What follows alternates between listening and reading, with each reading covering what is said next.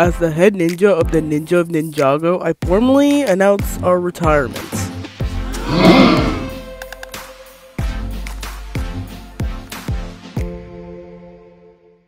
You got the stuff?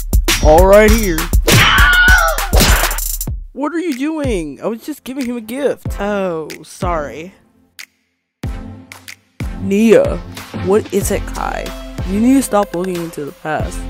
We need to move on. There's so many good things to do. Ladies and gentlemen, introducing Ghost.